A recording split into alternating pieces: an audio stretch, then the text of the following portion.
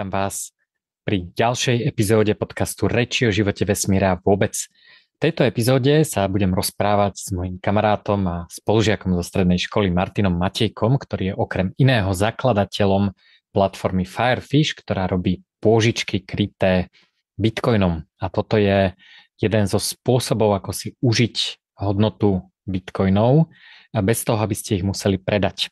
O tom mám samozrejme aj kurz, a preto som použil konkrétne tieto slova, volá sa Ako využiť hodnotu Bitcoinu bez toho, aby sme ho museli predať a rovnomennú, rovnomennú kapitolu aj v knižke Kryptomeny vyhekuj si lepší život.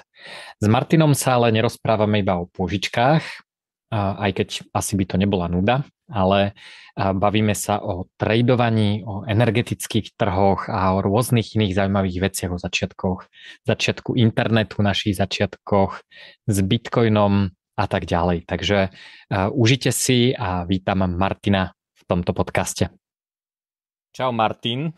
Ahoj Raj, nazdar. Čau, som veľmi rád, že sa nám podarila táto akcia. Sme to párkrát museli odložiť, hlavne kvôli môjmu cestovaniu, ale, ale stalo sa to, takže som, som rád a ďakujem, že si prišiel. Tak díky a... za pozvanie. tak e, vidím, že si vo fancy podcastovom štúdiu, takže ja som, ja som tiež vo fancy podcastovom štúdiu zvanom Spálňa. A uh, podľa mňa sa hneď môžeme baviť uh, o tom, ako sme sa spoznali, čiže o strednej škole. Neboj sa, nebudú žiadne, žiadne bulvárne tieto, ale mám na teba nachystanú takú, takú veľmi zábavnú tému, že my keď sme boli na strednej škole, tak sme boli za kohokoľvek, kto nám slúbil, že nás neodvedie na základnú vojenskú službu a slúbi nám, že zlegalizuje trávu. To je proste skoro každý stredoškolák je srdcom socialista, hlavne keď mu slúbia tieto veci, čo teda slúbujú e, väčšinou socialisti.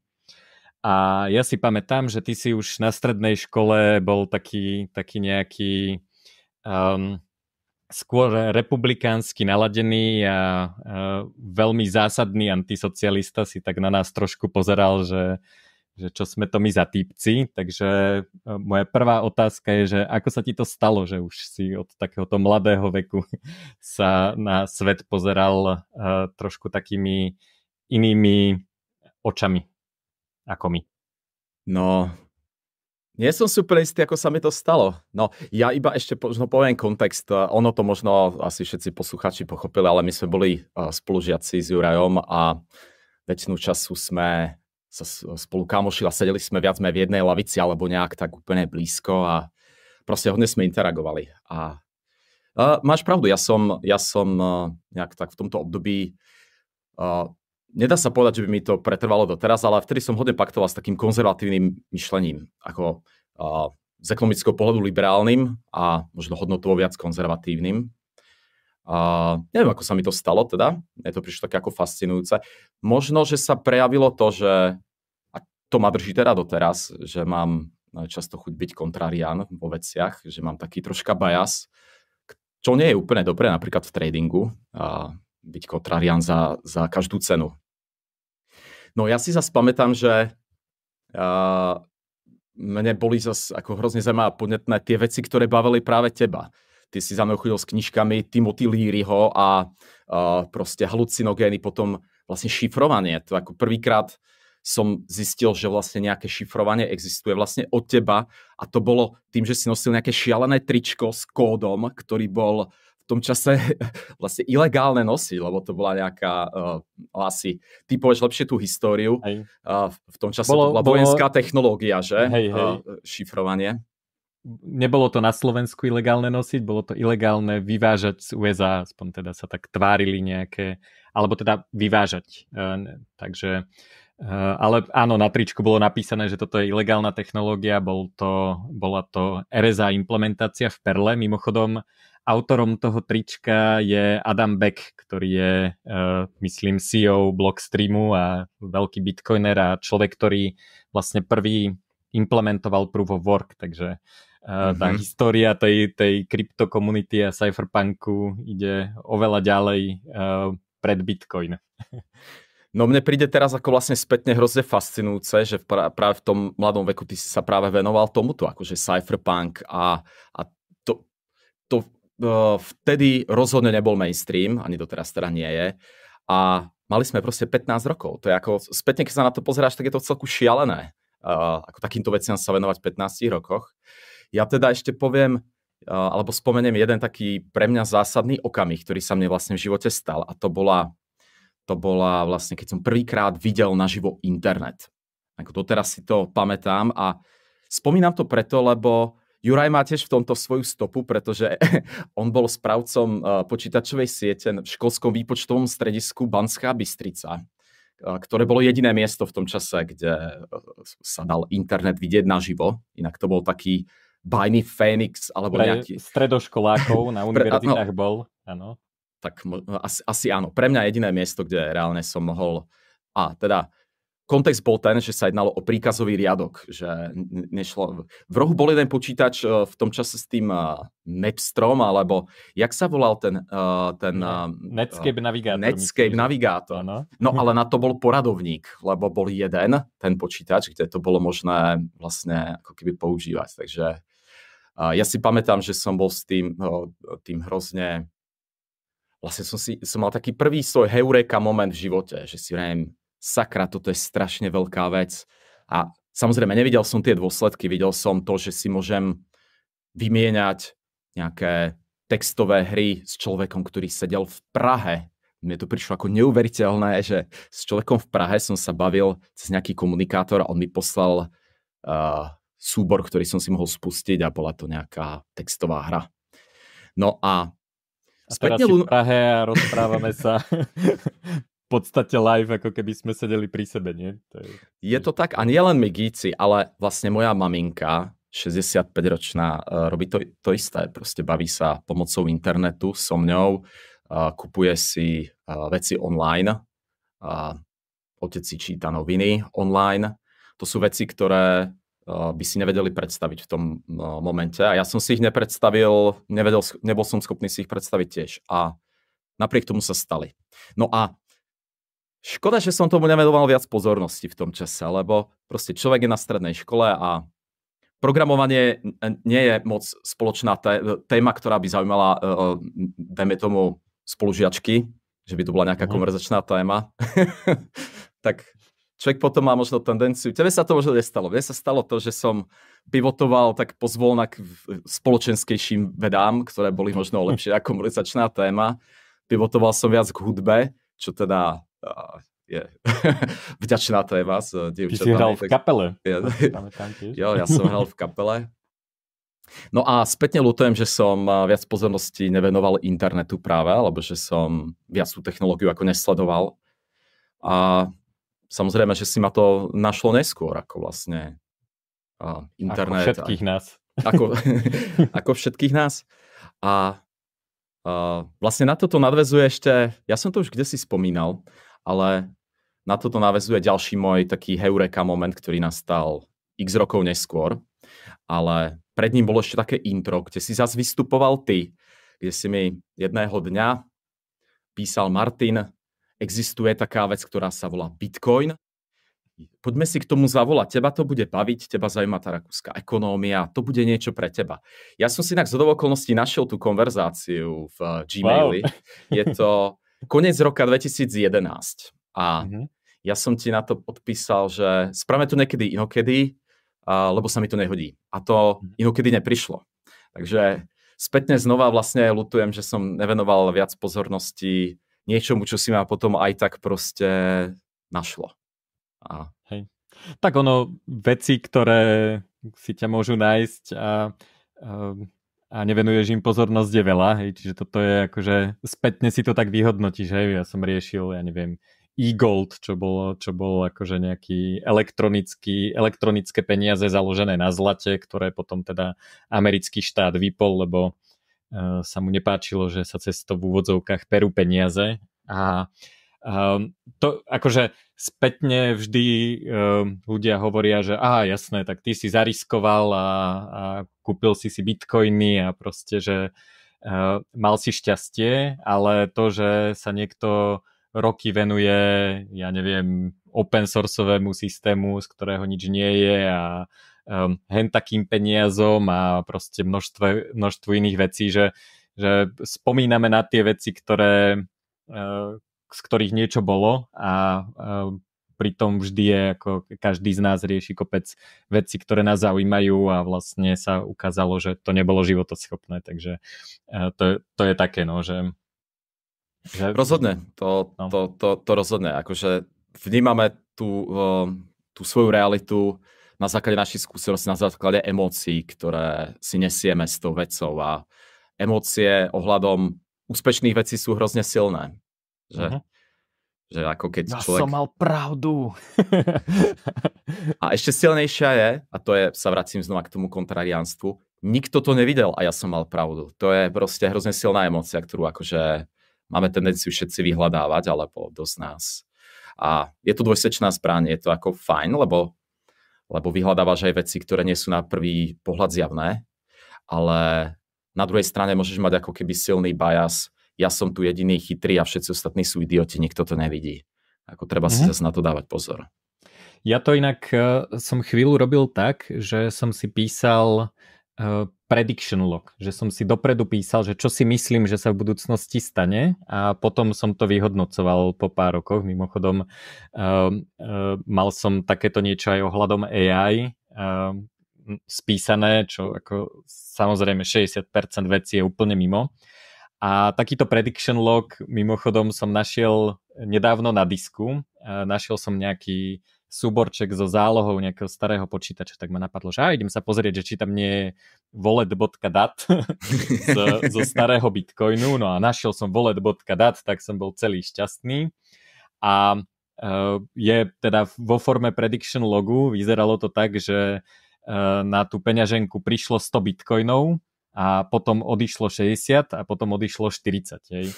A som si spomenul, a jasné, to sme si s kamarátmi skú, skúšali, že či to funguje, hej, že akože, však pošlem ti, mám 100, tak má to hodnotu 20 dolárov, tak pošlem ti nejaké drobné na vyskúšanie, že či to funguje. Aha. A akože keby som vtedy vedel, že Bitcoin bude veľká vec, tak ako nikomu v žiadnom prípade nepošlem 60 Bitcoinov. Hej, že to. Čiže Čiže áno, my sme sa s tým hrali, ale to neznamená, že sme že nám zasvietilo v hlave a všetci sme vedeli, že na tom bude postavený nejaký paralelný finančný systém. Hej, to proste mm-hmm. akože my sme sa vôbec tešili, že ten software funguje že sa tá sieť zhodne na nejakej transakčnej histórii a akože keby si nám vtedy povedal, že Bitcoin bude stať 100 dolárov, tak si povieme, že aj jasné, však ani aj, aj PGP sme si mysleli, že všetci budú šifrovať e-maily a nikto nešifruje e-maily, ano. takže um, no. takže bohužiaľ Mož... zo, zo 100 bitcoinov nič neostalo, ale Ja by som sa možno ešte potom rád vrátil k tomu tvojmu prediction logu, ale napadla ma ešte jedna mhm. vec, ktorá by možno mohla byť uh, zaujímavá, lebo poviem ti, jak uh, ja vnímam vlastne uh, value proposition Bitcoinu ako keby v rôznych časoch. Ja mám práve pocit, že kúpiť Bitcoin teraz, ono sa to môže zdať také kontraintuitívne, ľudia majú pocit, že im niečo ako keby ušlo. Ale treba vnímať dve roviny toho rozhodnutia. Jedna je šanca, že nastane nejaký outcome a, a druhá je potenciálny výnos. A mne príde, že momentálne, keď toto skombinuješ, tak e, je to výhodnejšie, ako to bolo v roku 2011 vtedy tá, tá šanca, že z Bitcoinu bude základ nejakého paralelného finančného systému, bola prakticky mizivá. Ako, asi aj vtedy to bol dobrý bet, ale tá šanca bola výrazne, výrazne, výrazne nižšia ako teraz. A my, myslím si, že ten nárast v pravdepodobnosti výrazne prevyšuje uh, nárast v cene. Mm-hmm. Takže teraz uh, vlastne podľa mňa sa dá na tú investíciu pozerať ako keby binárnymi očami, že buď nejaká téza nastane, alebo nenastane. Buď nastane a Bitcoin bude hrozne drahý, alebo nenastane a cena Bitcoinu bude blízko nuly alebo relatívne, relatívne nízka. A proste šanca, že nastane prvý z tých outcomeov sa časom výrazne zvyšuje. Podľa mňa každým, každým blokom sa táto šanca výrazne zvyšuje. To, že proste v Bitcoine sa nenašla, eh, alebo v krátkej, v blízkej minulosti sa nenašla nejaká kritická zraniteľnosť. Je podľa mňa ako keby najzásadnejšia vec, ktorú Bitcoin získava. Že vlastne je to najväčší honeypot pre všetkých hackerov na svete. A každým blokom sa ukazuje, že je menej a menej pravdepodobné, že, že niekto nájde nejakú kritickú zraniteľnosť. Takže ja by som chcel možno tvojim poslucháčom aj vlastne naznačiť takýto možný prístup k uh, value proposition Bitcoinu. Že uh, tým, že vidíš, že nejaká uh, cena vzrástla x tisíc násobne oproti nejakej hypotetickej cene v minulosti, tak to ešte absolútne nič proste neznamená. Mm-hmm. Je to tak, je to presne o tom, čo, čo som hovoril, že vtedy to bola proste hračka, ktorá pravdepodobne nemala, nemalo to hej, že pravdepodobne z toho malo byť to ako z PGP alebo z eGoldu alebo z DigiCashu alebo proste z množstva iných projektov, ktorým sa nič nestalo. A teraz je to podľa mňa aj tou bezpečnosťou, je to uh, asi najväčší bug bounty program na planéte. Ja mám, uh, som spoluzakladateľ firmy, ktorá robí bug bounty programy, takže uh, tú ekonomiku, ako, uh, ma to dosť zaujíma, že ako, ako to funguje, ale zároveň aj ten network, hej, že, že uh, proste bavíš sa s normálnymi ľuďmi a oni ti povedia, že, že či by som mohol zaplatiť bitcoinom. Hej, že to je presne také ako s tým internetom, že, že my keď sme začínali v tom školskom výpočtovom stredisku, um, tak um, ja som sa tam bavil s ľuďmi a oni vlastne akože si myslia, že to je ako nejaká blbosť, hej? Že, to, že to OK, poslal som e-mail, OK, čo sa s tým dá robiť, nič, to je len takáto, takéto textové četovátko, no dobre, tak idem si čítať knižku alebo robiť niečo iné. Hej, že, že nikto z nás, proste ani ja som nevidel, že, že čo z internetu bude. A a teraz ako to používame všetci a podľa mňa práve tá value proposition narastá s množstvom užívateľov. Áno, je vyššia cena, ale šanca, že, že to teraz pôjde úplne do kytek a nič z toho nebude, je podľa mňa prakticky nulová. Že, že teraz už vlastne si kupuješ niečo, uh, čo už má nejaké miesto uh, vo svete. Aj na trhu, ale teda celkovo vo svete. Je to nástroj, ktorý je užitočný pre, pre mnohých ľudí. Um, tu mám potom rovno také nejaké otázky, ale tak začnem, začnem e, tým, že ty si sa potom po škole študoval a potom si sa venoval tradingu. E, pre mňa si taký, akože keď e, Taleb píše vo svojich knižkách, ako traduje v tom pite a tak ďalej, tak uh, ty si človek, ktorého poznám, ktorý, uh, uh, na ktorom si to predstavujem, že ty si vlastne robil to isté. Ty si sa venoval obchodovaniu na energetických trhoch a veľmi sa mi páčia rôzne tvoje príbehy, ako to tam funguje a ako je to teda uh, trošku inakšie ako nejaká technologická analýza. Možno je to dané tým, že na tých energetických trhoch je menej hráčov, takže tam nie sú až také plne masové efekty, že niekto niečo povie v telke a všetci začnú tradovať. Um, takže uh, uh, moja otázka možno teda, ako si vnímal toto obdobie, ale rovno podotázka, že či je podľa teba možné, aby bežný človek, ktorý nie je super profesionálny trader, ktorý to, to má akože roky skúseností, že môže mať nejaký edge. Že či na druhej strane nie je nejaký Martin Matejka, ktorý si takto pomydlí ruky a povie si, a jasné, niekto si povedal, že ide zarobiť tradovaním, tak, eh, tak eh, mu ukážem, ako sa to robí tak skús možno taký nejaký pohľad na, na ten edge a na trading tvoj. Dobre, no. Uh, ja som vlastne uh, po škole najprv začal robiť trading v banke. Uh, takže uh, začal som vlastne s takými tými FX a money market, swapy a uh, cené papiere. Uh, čo bola celkovo inak náhoda. To možno, že teraz bude znieť úplne bizardne pre pre ľudí. Ono to bolo ale 20 rokov dozadu, ne, koľko to bolo? 15 rokov dozadu, 17. A vtedy ja som našiel ten job na nástenke.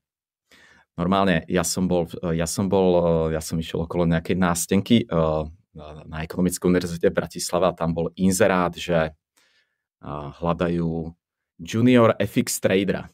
Nevedel som presne, čo to je, ale videl som uh, možno nejaký film o Wall Street, tak mi to prišlo tak akože zaujímavé. Takže nejak skúsim. Tak, no, uh, nejakým, nejakou náhodou sa stalo, že ma na tú pozíciu vzali a ono to bola v celku taká vzácnosť, lebo uh, tých ľudí, ktorí uh, robia v banke trading, není nejak v zásade veľa. V Bratislave ich bolo máličko a väčšina bola jedna generácia, ktorá začala po revolúcii proste s týmto a proste relatívne málo ľudí sa tomu venovalo. A, a bolo to také, akože to zaujímavé v zmysle, že ma prekvapili tie objemy, ktorými ľudia ako nakladajú, že som si to nevedel vôbec ako keby predstaviť, že, že nejaká miliarda dolárov alebo akože 100 milióny dolárov alebo korún a proste tam lieta hore-dole. Mi to prišlo ako ako začiatku, že, že ma to hneď ako keby niečím fascinovalo. Že vlastne ľudia majú kompetenciu nakladať takýmito veľkými hodnotami. No a vtipná story je, že ja môžem povedať podľa mňa ako jeden z mála ľudí, že, priš- že som prišiel o prácu kvôli euru. Lebo proste keď eh, Slovensko sa rozhodlo uh, zaviesť euro, tak proste my sme mali ďaleko menej biznisu ako banka, no, objektívne. Takže ja som sa rozhodol pivotovať do, do energetických komodít.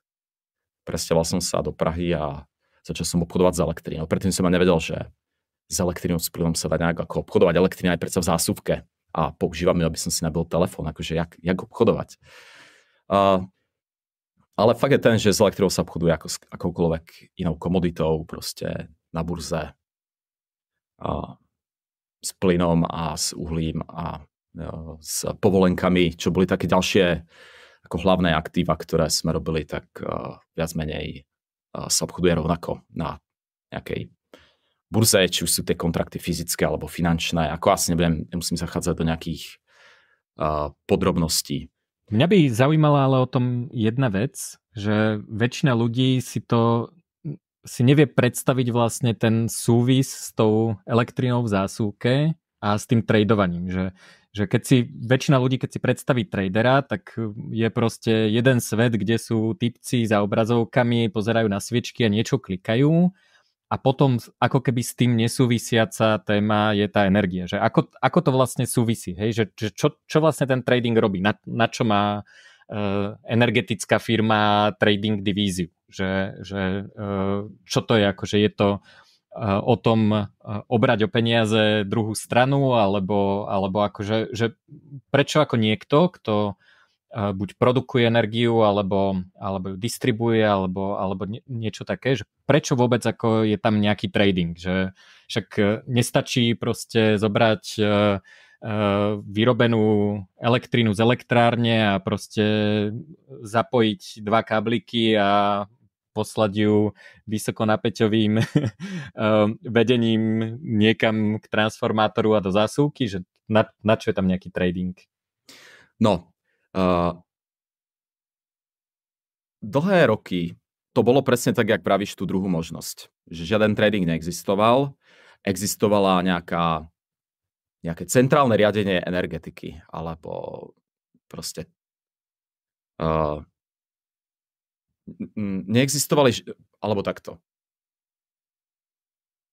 Bez toho, aby existovala nejaká forma obchodu, tak musí existovať centralizované riadenie, lebo na to, aby sa tebe dostala e, elektrina do zásuvky, tak treba zodpovedať mnoho otázok. Jedna je, kto tú elektrínu vyrobí, z akého zdroja, za akú cenu.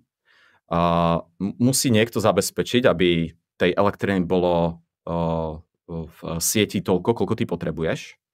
Čo nie je úplne ľahké predikovať, to je ďalšia vec.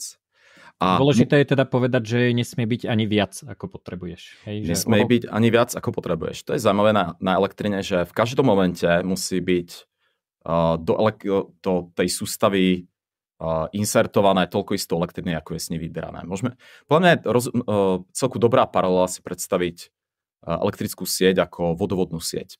A predstav si, že nejakí ľudia si púšťajú kohutík a niekto iný tú vodu v nejakom mieste do tej sústavy vpúšťa. A zaujímavé je aj to, že vlastne je, je to fakt dobrá paralela aj v tom, že ono tebe je viac menej jedno, v ktorej časti tej sústavy niekto tú vodu do tej sústavy uh, dáva. Tebe vytečie úplne iná voda, ale je to viac menej jedno, ona je homogénna. A podobne to funguje aj s elektrinou. Ty keď, uh, keď tebe niekto predá elektrinu a dostane ju do sústavy na jednom mieste, ty si ju odobereš na druhom, není to tá istá elektrina, v podstate, je to iná, iná energia, ale je to viac menej jedno, lebo tá vec je homogénna. Takže podľa mňa toto je nejaká metafora, ktorá môže pomôcť eh, rozmýšľať o tom, jak tá sústava vyzerá, jak ten, jak ten trading funguje. Ja k tomu tradingu ešte poviem, uh, práve ten, uh, skúsim to popísať v protiklade uh, s tým centralizovaným riadením. Centralizované riadenie sme tu mali odjak živá až do relatívne nedávna, kde existoval úrad alebo proste štátny podnik, ktorý povedal, a zajtra budeme vyrábať toľko a toľko elektriny, zapneme túto elektráreň, hen takú elektráreň a tam takú elektráreň a spravil si nejakú predikciu, že v horizonte desiatich rokov musíme postaviť elektráreň nejakú ďalšiu. To sa môže zdať rovnako neefektívne, ako keby, sme, keby sa vyrábali všetky autá, čo sme tu tiež mali 40 rokov, vyrábali sa škodovky, proste centrálne uh, riadeným spôsobom. Väčšina komponentov bola lokálnych. No a výsledok sme sami videli. Tie, uh, tie, tie, ten výrobok nebol konkurencieschopný uh, inému, ktorý bol konštituovaný na základe trhového mechanizmu, kde existovali trhové signály. Pokiaľ uh, pustíš uh, trh vlastne do energetiky, tak začnú ľudia, uh, tá, uh, výmena informácií o tom, e, čo, kde, ako vyrobiť, alebo jak plánovať do budúcnosti, je dané trhovými signálmi. Ľudia interagujú slobodne na nejakom trhu, sú ľudia, ktorí chcú niečo kúpiť a niečo predať a výsledkom tohto ich snaženia je cena, ktorá má kopec informácií. Mne dáva informáciu o tom, že napríklad svoj zdroj môžem na zajtra vypnúť, lebo nie som in the money, lebo proste moje variabilné náklady sú vyššie ako cena elektriny v sústave. Uh-huh. Mám informáciu, ktorá mi povie, hm, možno, že by sa oplatilo postaviť novú elektráreň. Ceny sú vysoké aj na, na dlhé obdobie. Ja si viem kúpiť lacno plyn a viem pre drahú elektrinu, tak postavím elektráreň. Uh, trh má extrémne veľa výhod, ktoré podľa mňa sú absolútne zjavné. A trading je vlastne iba prejav trh, trhových síl alebo trhového prístupu k energetike vlastne v tomto smere.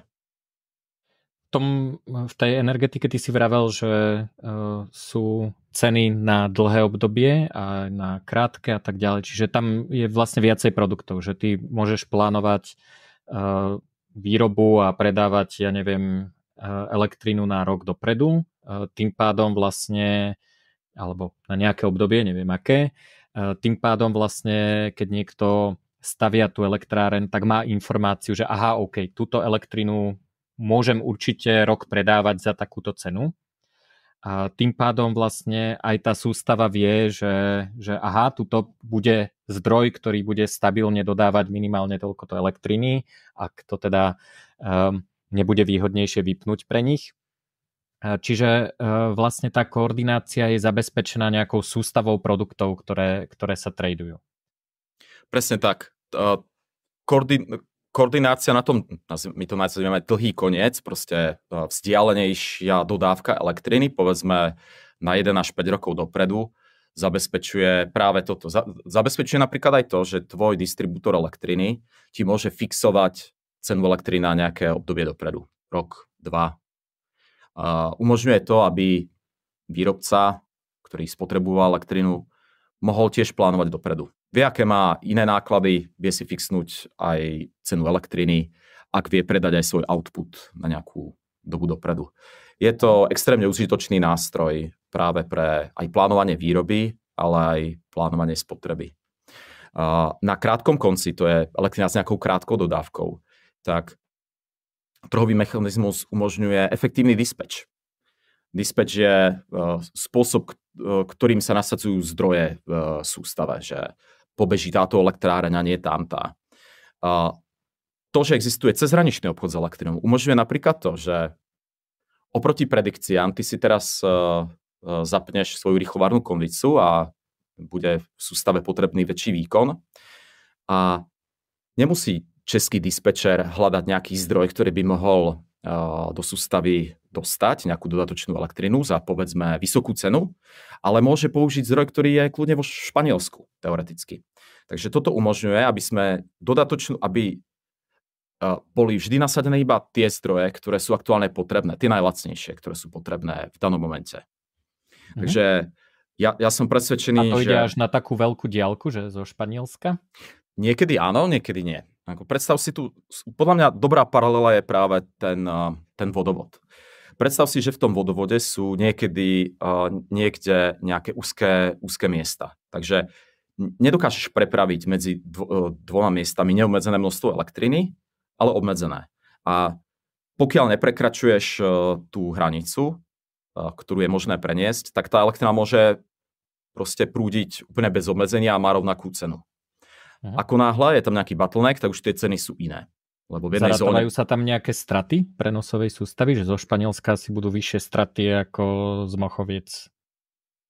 Práve dobrá je znova tá paralela vodovodu. Predstav si, že existuje ten vodovod a ty potrebuješ niekde u seba uh, uh, u seba nejakú dodatočnú vodu, tak svojím spôsobom je jedno, že na ktorej strane tej vodovodnej sústavy tá elektrina pritečie. Že ono sa nedá povedať, že ona by cestovala z toho Španielska nejak, nejak uh-huh. ale vytvorí v tej sústave tlak, ktorý sa prejaví na druhej strane. Uh-huh. Uh-huh. Okay. Tak to je podľa mňa o tom lepšie rozmýšľať. Uh, ono samozrejme, prenosové straty sú zase ďalšia vec. Uh, ja neviem, či nepôjdem už príliš hlboko do toho, Hej. jak je no. dizajnovaný európsky trh, ale podľa mňa je to v celku ako zaujímavé. No.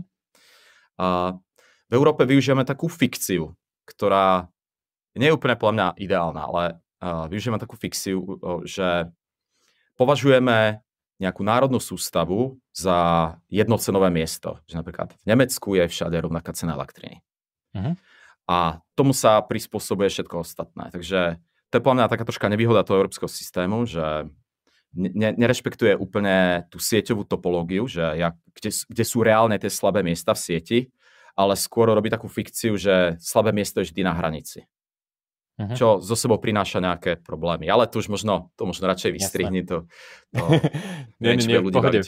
Páči sa mi to. A ja ešte som sa chcel vlastne dostať uh, nakoniec, ale po, povedzme to teraz. Akorát som čítal trošku starší tweet uh, o Bitcoin miningu, ako zachránil uh, texaskú sieť pred blackoutom a tiež vlastne tam bol trhový signál. Vlastne stalo sa to, že že bol prebytok e, energie v tej sieti a e, je to e, vlastne, tí minery reagujú na trhové signály. Takže oni, oni zistili, že OK, brutálne klesla cena okamžitej energie a, a vlastne do 4 sekúnd všetky tie mining farmy zapli plný výkon. Proste vysmažili klimatizácie, alebo zase pri miningu koľko energie spáliš, tak toľko energie musíš použiť na uchladenie, e, ak to teda nevyfúkneš von nejakým spôsobom, čiže tie klimatizácie sú tam tiež, e, tiež ako Uh, nestačí sa pozrieť na štítok minera, že aký má odber, ale mm. rovnaký odber má aj, aj klimatizácia na to, aby si to uchladil. To je ako v zásade poučka pre datacentra akékoľvek, že, že chladenie je vlastne spraví s, s odberom krát 2. No a, a vlastne ten mining Bitcoinu je zaujímavý v tom, že na rozdiel od iných výrobných procesov sa dokáže zapnúť prakticky okamžite. Čiže oni boli schopní do 4 sekúnd vlastne e, spáliť tú nadbytočnú energiu a tým pádom vlastne predišli tomu blackoutu. A toto sa teda deje pravidelne, to bol len nejaký konkrétny tweet, kde to ukazovali na grafoch, že aká je frekvencia v sieti, aký je odber a, a, a vlastne toto mi príde ako niečo, čo si, čo si väčšina ľudí, ktorí sa zamýšľajú nad nejakou energetickou náročnosťou miningu neuvedomujú, že, že ten bitcoin a ťažba bitcoinu je vlastne v tomto unikátna, že ty, ja neviem, keď máš nejaký sklársky závod a potrebuješ rozohriať nejakú pec, alebo keď máš, ja neviem, nejakú energeticky náročnú um,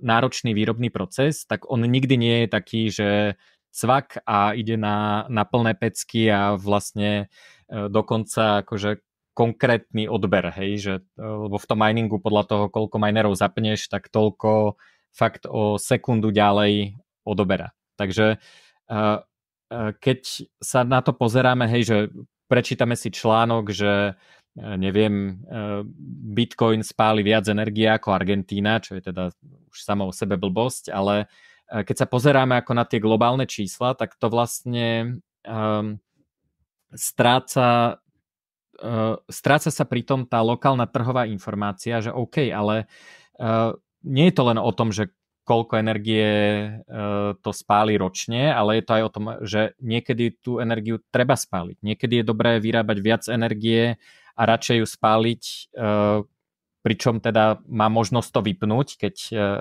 keď je nedostatočná výroba. A vlastne ten Bitcoin je jednak unikátny nástroj na toto vyvažovanie a na druhej strane, čo sa mi teda páči, a tiež je to vlastne ako trhový mechanizmus spojenia energetiky a bitcoinu, že chcem postaviť niekde vodnú elektráreň, ale ešte tam nie je nič, ani tam nie sú privedené káble vysokého napätia, ani tam nie je tá továreň, ktorú tam niekto chce v budúcnosti postaviť, proste začínam elektrárňou. A vlastne tí bitcoinoví minery môžu tie, tie stroje šupnúť do lodného kontajnera, naložiť ich uh, či už na, uh, na nákladák alebo na helikopteru, doviezť ich tam a vlastne už financovať, už odoberať tú energiu, kým niekto tam stavia tú elektráreň alebo tam privádza tie káble. Čiže je to vlastne taký um, vlastne financovanie tvorby nových energetických zdrojov. A vlastne tie nové energetické zdroje my chceme. My chceme, aby sme mali viac energie. Uh, ak sa bavíme o tom, že Eh, môže nastávať nejaké zvyšovanie globálnej teploty, tak eh, tým pádom chceme, aby všetci ľudia mali doma klimatizáciu, aby sme to zvládali, aby sme sa eh, dokázali adaptovať. A, a, vlastne ten tvoj pohľad toho tradingu a tých trhových signálov je podľa mňa v tomto zaujímavejší a, a hovorí vlastne presne opačný príbeh ako tí Doomsayery, že teraz ako sa vyparia oceány, lebo tu máme nejaký Bitcoin. Takže uh, taký nejaký, skús nejaký taký tvoj pohľad na súvis uh, medzi týmto, čo si hovoril, že trading a cenové signály a, a ťažba toho Bitcoinu. Že či je to teda naozaj unikátne, alebo sa to dá riešiť inak, alebo ako? Áno. Ja by som možno v prvom rade troška poodstúpil a možno hm, sa zamyslel nad tým, či ako bitcoinová komunita sa na toto pozeráme zmysluplne. Ja teda chcem ponúknuť možno troška iný pohľad na energy consumption. Ja si totiž myslím, že energy consumption alebo výroba a spotrebovanie elektriny je inherentne dobrá vec. A podľa mňa väčšinou bitcoinery vychádzajú z, z predpokladu, že vyrábať a páliť elektrínu je inherentne špatné. Majú na to nejaké svoje dôvody, ja ich e, osobne aj chápem, ale ja by som chcel ponúknuť iný pohľad. Môj, e, môj osobný pohľad je taký, že vyrábať elektrínu a, a spotrebovať ju je inherentne dobrá vec. Druhý point je, že spotrebovať ju na mining bitcoinu je tiež inherentne dobrá vec. Elektrina je spotrebovaná ďaleko väčšie hlúposti. Aj keby som prijal argument, že vyrábať elektrinu je špatné, čo si teda rozhodne nemyslím, tak eh, spotreba eh, na mining bitcoinu z akýchkoľvek zdrojov si myslím, že je inherentne dobrá. Takže my, myslím si, že... Eh, prečo? Skús povedať, že prečo oboje. Že prečo je dobré vyrábať a spotrebovať viac energie a prečo zrovna na bitcoin. Čo sa týka, prečo je dobré vyrábať a spotrebovať elektrinu alebo energiu ako takú.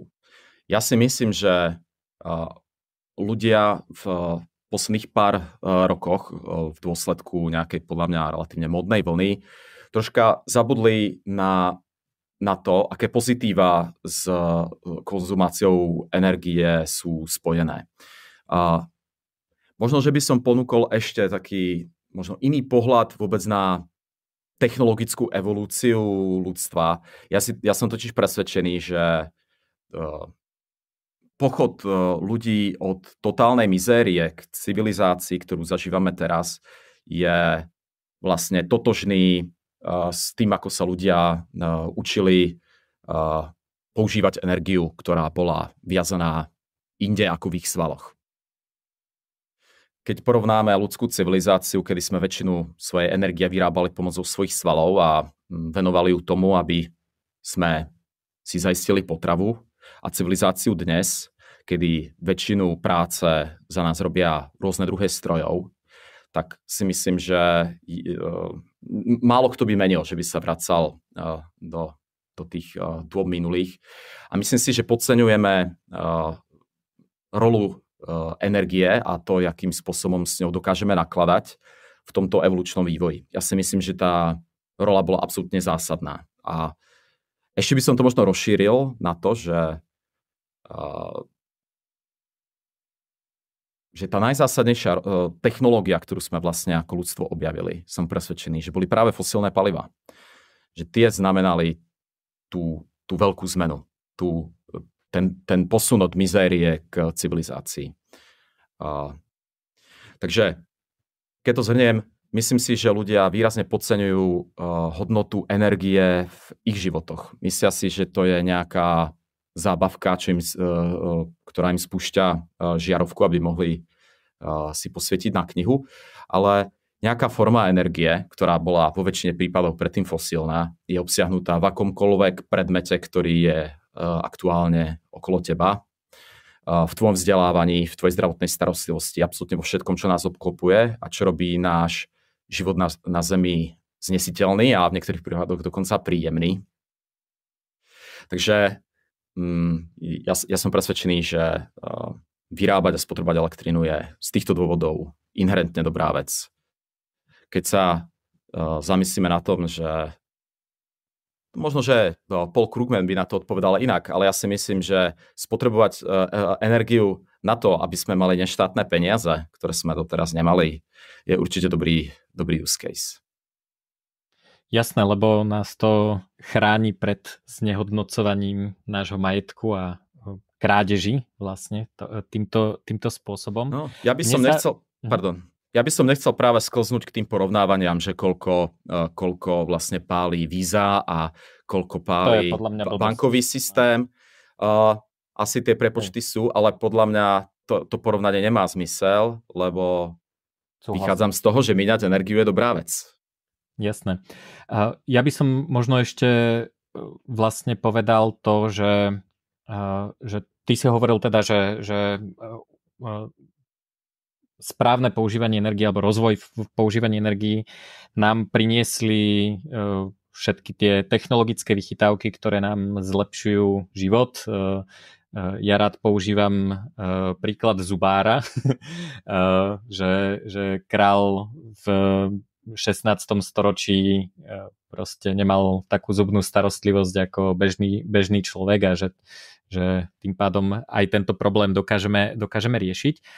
Ale ešte je tam jeden špeciálny prípad, na ktorý teda málo ľudí poukazuje a to je práve tá možnosť adaptácie sa na prostredie. Ja som sa rozprával, mám kamarátku, ktorá je architektka, robí fasády mrakodrapov, eh, žije v Dubaji a s ňou som sa teda rozprával o, o tom, ako teda funguje Dubaj a tak ďalej a ona povedala, že, že budova je vlastne technológia, ktorá nám umožňuje chrániť sa v nehostinnom prostredí. Hej? A tá budova má klimatizáciu, má všetky, všetky tieto veci. A, a, a vlastne, ak aj hovoríme o tom, že dochádza k nejakým klimatickým zmenám, teraz tu nemusíme rozriešiť to, že kto to spôsobuje, aké sú tie klimatické zmeny, či vôbec sú a tak ďalej. Proste klima sa celý, celý um, čas uh, nejakým spôsobom mení. A tak vlastne tieto technológie nám to umožnia zvládnuť. Hej? Že keď bude v Bratislave alebo v Prahe celoročne 40 stupňov, tak proste chceš byť v budove a chceš, aby e, v zásuvke bola elektrina, ktorá bude poháňať tú klimatizáciu, ináč sa tam uvaríš. Takže, um, takže vlastne uh, vďaka energii sa my dokážeme aj adaptovať na takéto zmeny. A, a vlastne problém uh, budú mať uh, bohužiaľ práve tí chudobní ľudia, ktorí tieto technológie nebudú mať prístupné a budú v slamenej chatrči. Takže mm-hmm. to si málo ľudí uvedomuje. Áno, ja si myslím, že to vychádza troška z takej, myslím si, že troška falošnej predstavy, ktorý, ktorú väčšina ľudí má ohľadom vlastne ľudí a zeme. Majú predstavu, že Zem je nejaká rajská záhrada, kde prišiel človek a nejaký ju pošpiňuje nejakým spôsobom. Ako, možno, že by sa dalo, uh, asi by sme museli zajsť do nejakej metafyziky, aby sme pochopili dôvody takéhoto uvažovania. Uh, ja by som chcel ponúknuť uh, možno troška iný pohľad, a to je pohľad na Zem ako nehostinné miesto, kde žije druh tropického primáta, ktorý sa snaží adaptovať na extrémne nehostinné prostredie na miestach, ktoré Eh, na ktoré nebol vôbec evolučne vybavený. My, my, my žijeme na miestach, kde by sme uh, bez použitia technológie nemali akúkoľvek šancu prežiť. A po stáročia sme na tých miestach žili len za cenu totálnej mizérie uh, a nízkej populácie a toho, že ľudia väčšinu svojho času trávili tým, aby si zaobstarali potravu a aby neumrzli. Až s rozvojom energetiky svojím spôsobom, s, s rozvojom toho, že sme dokázali využívať iné zdroje energie, sa táto situácia dramaticky zmenila a mení sa exponenciálne. Takže, takže toľko k, tomu, k tomuto. Takže ja tiež vidím mesta ako technológiu, ktorá nás chráni pred nehostinným prostredím. Domy, budovy, to sú všetko technológie, kúrenie, elektrina, všetko nás chráni vlastne pred nehostinným prostredím našej planéty, pred mrazom, búrkami, horúčavami a tornádami. Presne tak. Už len drobný detail k tomuto, že e, veľa ľudí toto nevie, tak to chcem povedať, že e, asi desaťnásobne viac ľudí e, zomrie na dôsledky chladu ako tepla, takže to kúrenie je ešte dôležitejšie ako tá klimatizácia. Takže oheň je naozaj revolučná technológia, ale asi nechceme, aby každý vo svojom paneláčiku si uh, kúril drevom. Je to mimochodom dosť roboty a pobývam často na mieste, kde treba kúriť ohňom a uh, treba sa o to starať. Nie je to, že kliknem uh, na zariadení, že 22 stupňov uh, celý deň. A poďme ešte ďalej k tomu tradingu, teda ešte sme sa nedostali k tej otázke, že či sa podľa teba, eh, či je podľa teba reálne, že niekto bude mať v tradovaní nejaký edge, keď nemá nejaké akože buď informácie alebo skúsenosti. Že aká je, že poviem príklad, príde do Bitcoinu alebo teda všeobecne do krypta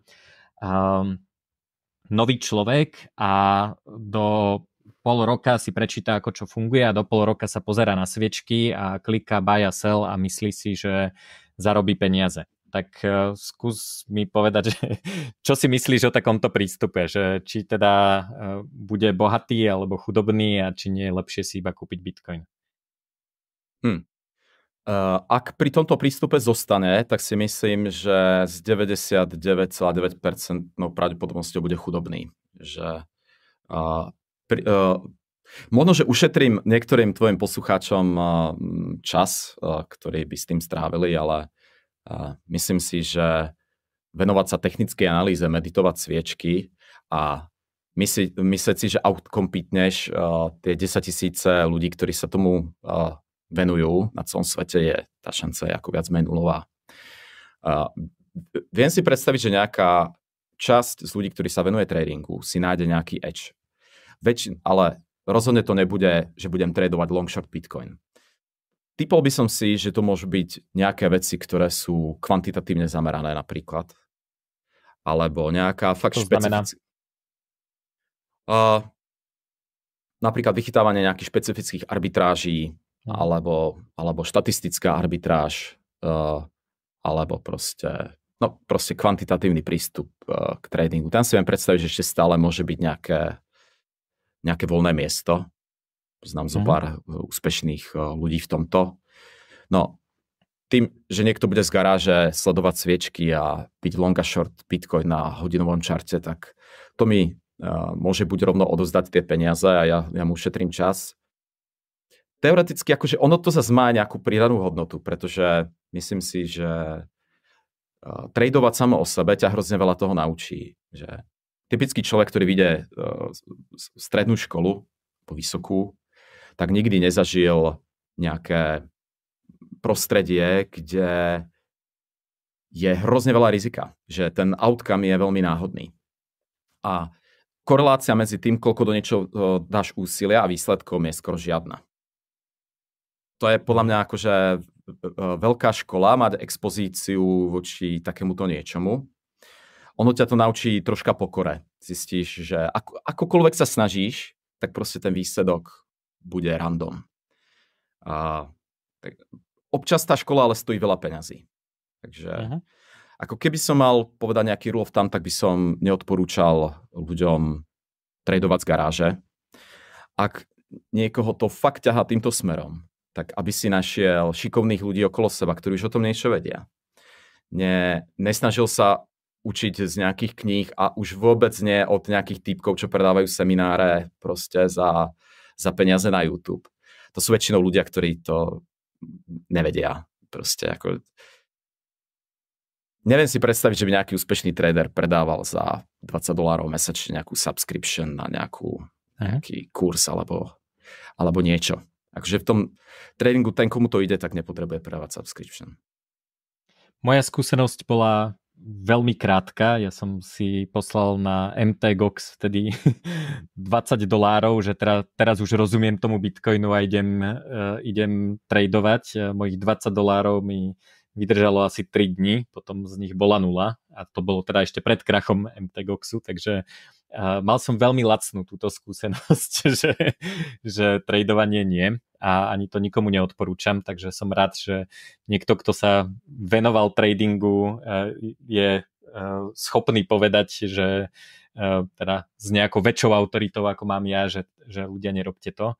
A poznám veľmi veľa príkladov ľudí, ktorí napríklad v bull markete tradovali a v bull markete stále máš pocit, že zarábaš, hej, lebo proste čokoľvek kupuješ, predávaš, tak keď všetko ide hore, tak proste stále si bohatý a si mm. bohatý na páku a, a potom väčšinou prišiel taký jeden moment, ktorý trval pár sekúnd a, a nezachránil ich ani limit order a, a zrazu z toho veľkého zárobku mali menej, ako keby si iba kúpili Bitcoin. Takže...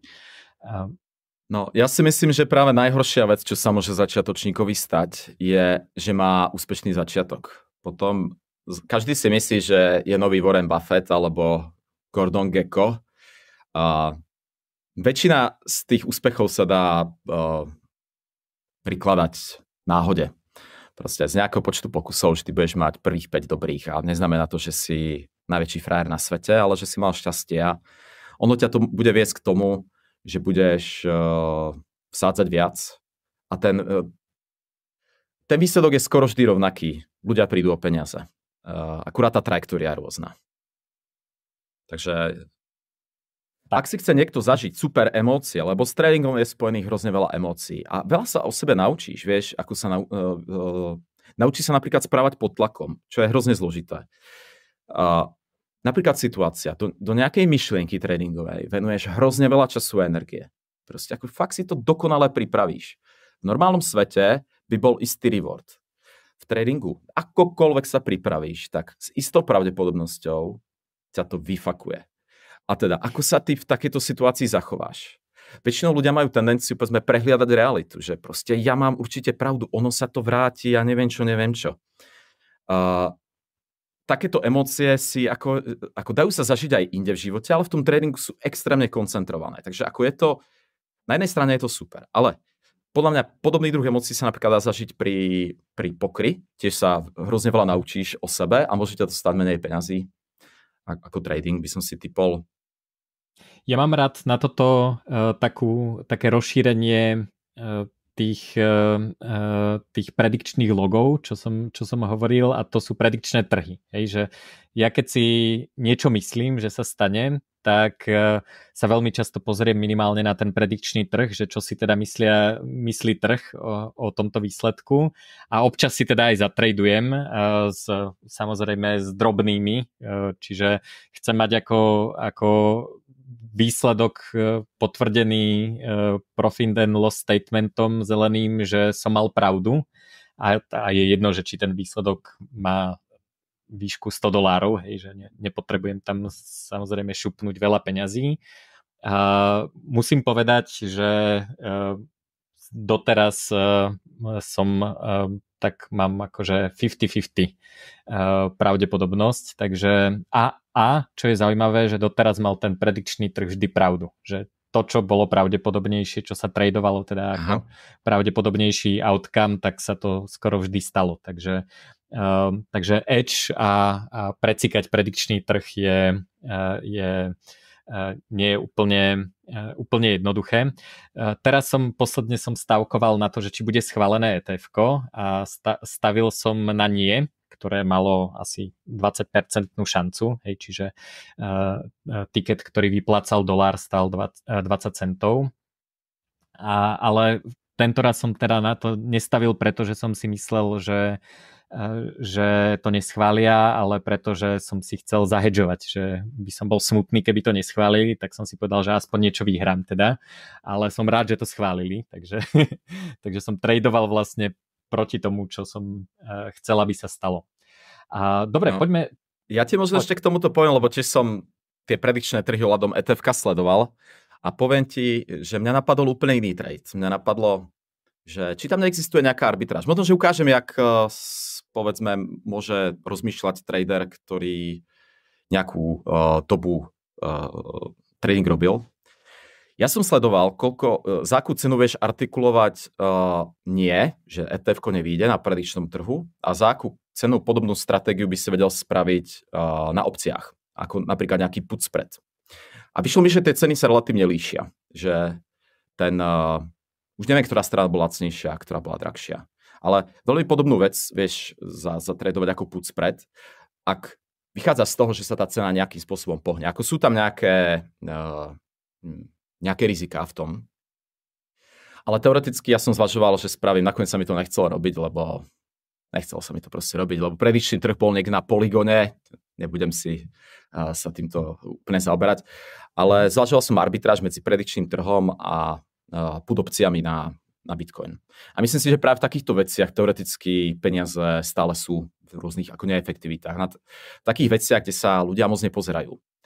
To, na čo sa pozera každý, čo je on the spotlight, že, že c- spotová cena Bitcoinu, že teraz stojí Bitcoin 43, a či, či bude hore alebo dole. Na to sa pozera každý a tam proste peniaze z, podľa mňa nie sú v krakovom horizonte. Jasné. No, e, mňa prekvapilo teda ani nie ten výsledok, ale mňa prekvapilo, že s cenou Bitcoinu sa vlastne skoro nič nestalo. Že to etf vlastne akože každý čakal, že buď to totálne padne, keď to neschvália, alebo bude Bitcoin za 100 tisíc za 3 dní, keď to schvália. A vlastne akože bol tam nejaký výkyv, ale bol podľa mňa do, do 10%, tak si správne pamätám, že, ako, že v zásade sa nič nestalo, hej, že life goes on a, ehm, a, a, a nič sa teda nestalo. Dobre, poďme teda k Bitcoinu hlbšie. Mne sa páči, ty si mal prednášku, neviem, či to je aj tagline firmy, ktorú si teraz založil, Firefish, ale mal si prednášku, že Bitcoin backed everything, teda všetko kryté Bitcoinom. A mne sa toto veľmi páči. My sme sa vlastne tak e, zosynchronizovali ešte predtým, ako si e, založil e, Firefish, pretože ja som robil presne takúto stratégiu, že som nepredával bitcoiny, lebo to mi príde ako šialená vec, ale som ich používal ako zabezpeku na financovanie všeličoho, na, na pôžičku, mimochodom aj na produkciu energie, robil som si systém eh, na eh, domácu produkciu energie pomocou fotovoltiky a tiež som si povedal, že ako ne, nepredám bitcoiny, aby som si kúpil nejaké solárne panely, to je proste nezmysel, hlavne keď sú úroky nižšie ako inflácia a k tomu sa ešte dostaneme. No a my sme vlastne ako sme sa začali baviť o Bitcoine, tak ty si vlastne tiež mal uh, túto myšlienku a premenil si ju na to, že si založil platformu Firefish. A tak ešte pred Firefishom sa poďme, že, že čo je vlastne ako to krytie, ten kolaterál, na čo je to dobré a prečo je Bitcoin možno dobrý kolaterál? Mm-hmm. Uh, mne tá kolateralizácia bola blízka práve z, z tradingu, kde sa použí, používa rôzny druh kolaterálu na zabezpečenie nejakej transakcie. Proste. Takže ten, ten koncept mi bol veľmi blízky a postupom času som začal nadobúdať presvedčenie, že či vlastne Bitcoin ako kolaterál možno nemôže byť nie že nejaký ďalší use case pre Bitcoin, ale the use case, že vlastne možno, že je ten najzásadnejší. Poviem, jak to myslím. A kolateralizácia je vlastne uh, za, za existenciou napríklad aj stablecoinov. Že kopec technológií, ktoré v DeFi napríklad našli product market fit, ako je kolateralizované púčky typu AV alebo uh, stablecoiny, vlastne využívajú koncept kolateralizácie. Zastavíš, uh, imobilizuješ nejakým spôsobom jedno aktívum, aby si získal voči tej hodnote nejaké iné. A nad Bitcoinom sme sa ako komunita zatiaľ venovali podľa mňa zásade dvom veciam. Jedna je, že Bitcoin ako platobný systém, aby sme si mohli platiť za kafička alebo niečo iné a ako ochrana pred infláciou alebo nejaká saving technology. Čo je podľa mňa hrozne cool, oba z tých caseov, ale tomu sa už ľudia venujú. A prišlo mi, že dokopy nikto sa nevenuje uh, caseu, ktorý môže byť z môjho pohľadu úplne najzásadnejší. Lebo myslím si, že napríklad aj Bitcoinom kolateralizované stablecoiny, keď teda ustúpim od toho, čo robí Firefish, napríklad Bitcoinom kolateralizované stablecoiny by bola podľa mňa tiež ako killer use case. A vravím stablecoiny, nevravím fiatcoiny, lebo zatiaľ uh, podľa mňa použijeme viac fiatcoiny, ktoré nie sú podľa mňa stable. Ale v tejto oblasti podľa mňa ešte ani nejaká, nejaký reálny výskum, vývoj, ako, ako keby neprebehol. Že vlastne ešte stále vlastne ani neexperimentujeme v, od, uh, s tou otázkou, že v čom by sme vlastne chceli transaktovať. Hm. Neviem, či už toho nemotám príliš veľa dohromady. Možno, že... no, poďme, poďme možno e, k tomu kolaterálu. Tak ako väčšina ľudí uh, asi má aspoň pozná skúsenosť e, zábezpeky a, a po česky zaištení, ak nás počúva niekto, kto nerozumie po slovensky, tak zábezpeka teda väčšina mm-hmm. Čechov nerozumie, takže... Čiže zástava je taký pojem. Zástava, čo je... Mhm. zástava, OK, OK. A, tak to je, to je zase v Slovenčine niečo iné. Mm-hmm. um, No, väčšina ľudí pozná hypotéku. Hej? To znamená, že e, chcem si požičať, ale banka nemá dôvod mi veriť, že to splatím, tak e, zoberiem nehnuteľnosť, ktorú vlastním, do katastra vložím informáciu, že banka má záručné právo. To teda v tvojom jazyku znamená, že som to imobilizoval pravdepodobne. A a vlastne na základe toho mi banka požičia, lebo vie, že keď požičku nesplatím, tak si môže zobrať tú nehnuteľnosť a vie určite, že s ňou nemôžem pohnúť, nemôžem ju predať a tak ďalej. Takže to je vlastne princíp uh, nejakej kolateralizovanej pôžičky. Ja som na to mimochodom robil uh, kurz, ktorý, kde spomínam aj Firefish, volá sa ako využiť hodnotu Bitcoinu bez toho, aby sme ho museli predať.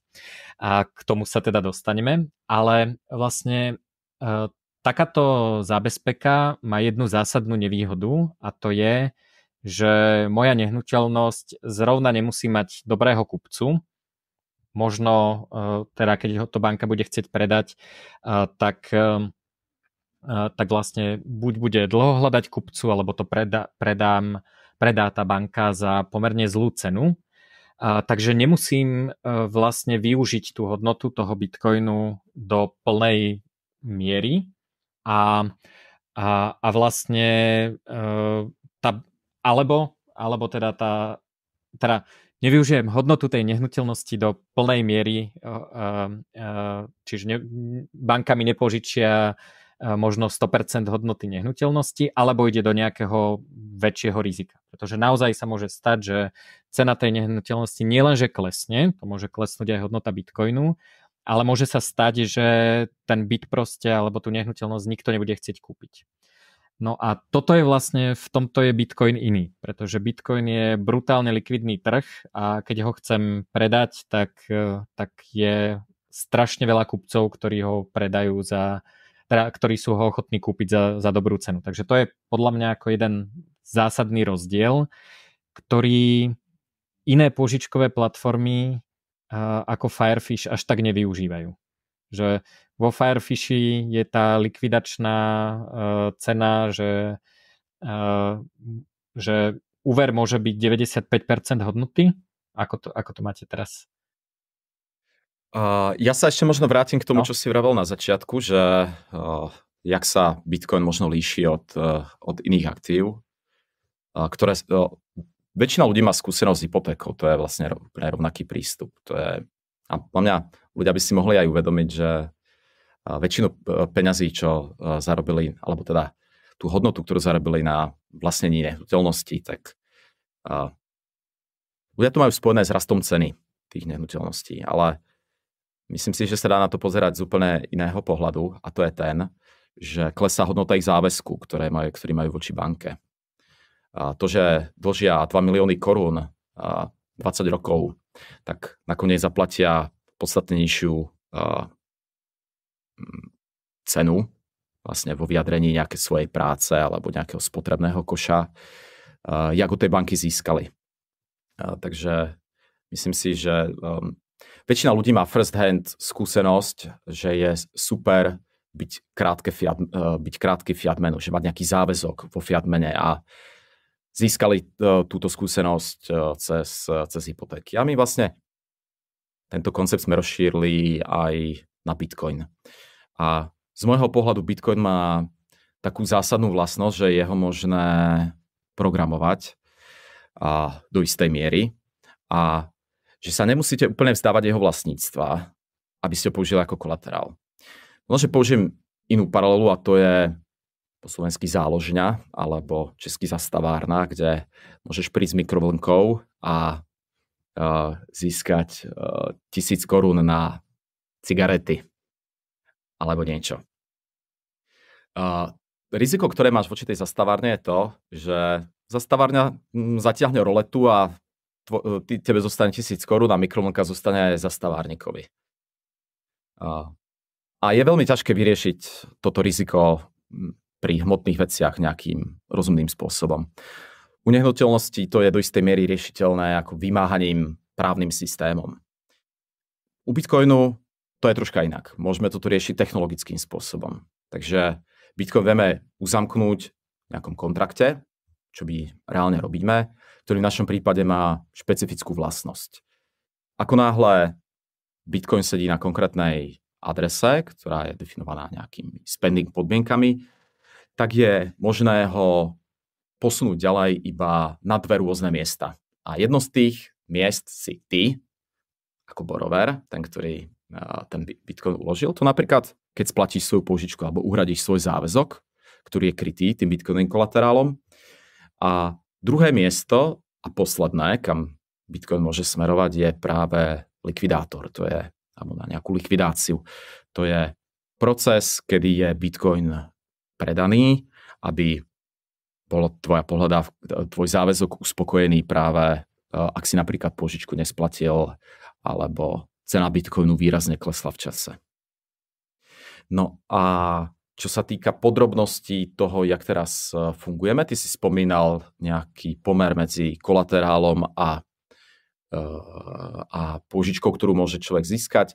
Aktuálne to máme nastavené na 50%. Ako Bitcoin je volatilný, nikto nechce byť likvidovaný, tak e, týmto spôsobom sa snažíme docieliť, aby tá pravdepodobnosť likvidácie výrazne klesla. Keby Ale to si... je teda vlastne úvodná podmienka, že koľko si môžeš Áno. požičať. Mhm. Áno. Úvodná podmienka a uh, zlikvidovaný budeš pri uh, úrovni 95, teda keď kolaterál, keď hodnota tvojej pôžičky je 95% hodnoty kolaterálu. Takže vlastne pri tej likvidácii prídeš o 5%, čo vlastne prémia pre likvidátora, aby to e, stihol na čas vlastne uzavrieť aj pri veľkých e, trhových pohyboch.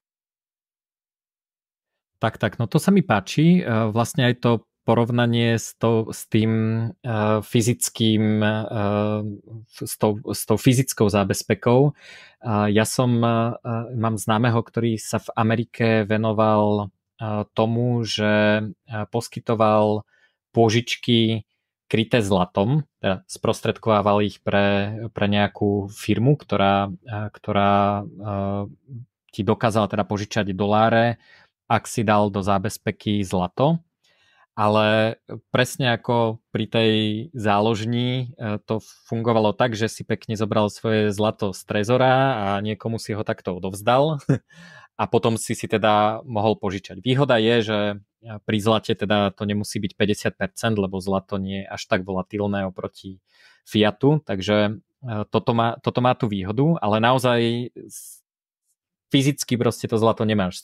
Strácaš jeho ako keby vlastníctvo alebo možnosť s ním nakladať, teda také, tak ako faktické vlastníctvo. Nie, nehovorím, mm-hmm. že právne uh, strácaš vlastníctvo, ale uh, strácaš možnosť s ním nakladať uh, a si vlastne plne závislý od, uh, od tej uh, firmy, ktorá, ktorá ho uschováva ako zábezpeku.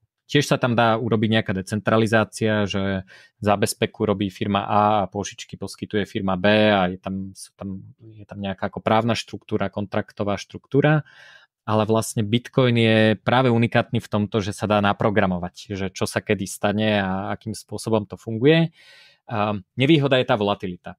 A to teda akože e, ľudí pri tomto, keď sa s nimi bavím o pôžičkách, tak ich stresujú dve veci, že čo keď Bitcoin padne a teda e, príde k tej likvidácii, a, tak áno, to si treba pokryť, treba s tým počítať, že sa to môže stať, e, treba buď teda doplniť ten kolaterál, alebo teda počítať s tým, že prídeš o 5%, a, ale málo ľudí chápe, že to, ja som napríklad uh, písal o Firefishi článok pre Alzu a jeden z komentárov tam bol, že uh, lebo písal som, že, to, že tá likvidácia vlastne nie je až také brutálne riziko.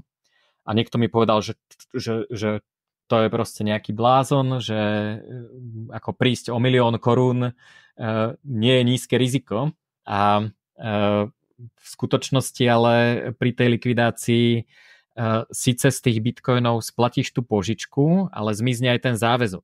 Hej? Čiže hmm. reálna strata je len tých 5%. Uh, v prípade Firefishu, u iných platformiem uh, to môže byť viac. Čiže nie len, že teda som prišiel o bitcoiny, ale zároveň zmizla aj moja pohľadávka. Ja nemusím nič splatiť zrazu. Čiže toto je... Čiže pre mňa vlastne tá volatilita nie je zase až taký problém, pretože najhoršie, čo sa mi môže stať, je, že prídem o tých 5%, ak by som teda ne, nedoplnil kolaterál a ak by som chcel mať tie bitcoiny, tak ja zrazu si ich môžem znova kúpiť. Hej? Ak, ak, ak mám peniaze, tak vlastne si môžem, môžem kúpiť nové bitcoiny pri takom istom kurze, keď viem, že ma to zlikvidovalo. Čiže keďže, keďže zrazu nemusím splatiť. Hej? Čiže ako moja ako ja, je... Uh-huh ja, ja teda likvidáciu za problém ako nejakým spôsobom samozrejme považujem. Ja by som osobne eh, v pozícii Borovera nechcel byť zlikvidovaný. Ono to môže mať uh, za prvé uh, daňové. Strati, uh, uh, za prvé nejaké daňové konsekvencie, uh, že človek by musel, alebo správne by mal uh, daniť nejaký realizovaný zisk. Uh, za druhé, ale ja by som sa musel rozličiť so svojím bitcoinom. To by bola pre mňa ale hrozná strata, nakoľko ja svoje bitcoinové aktíva nemám v pláne predávať. Nechcem uh-huh. tak nikdy spraviť. Takže rozhodne to problém je. A my sa zamýšľame, jak ten problém adresovať. A on je adresovateľný. A znova nejakým vodítkom je, sú mi moje skúsenosti z tradičných financií. A tam podobné veci sa už samozrejme dlho riešili. Bitcoin není prvá vec, ktorá je volatilná na svete, ani prvá vec, ktorá by sa používala ako kolaterál. A bežne vo financiách sa používajú rôzne občné štruktúry, ktoré to riziko uh, vedia minimalizovať.